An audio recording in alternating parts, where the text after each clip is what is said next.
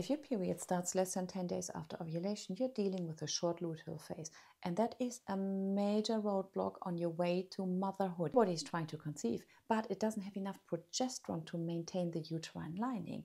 And the egg might be fertilized, but the environment collapses before it can actually implant that egg.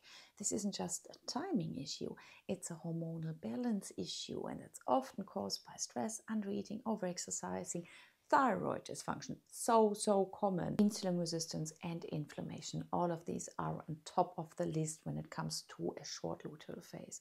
And if you have brown spotting before your period, especially if it's longer than two or three days, that is actually your body waving a red flag that progesterone is crashing far too soon.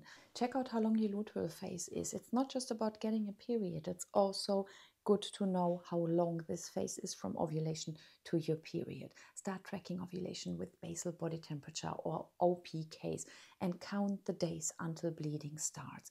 And if it's consistently under 10, your body is begging for hormonal support, not just another supplement, but a full body reset to get progesterone back on track deeper into this inside my 12 week fertility program and you get full access when you join my fertility circle. You can start any day, it's self paced, but with live coaching support from me every week. Join me now.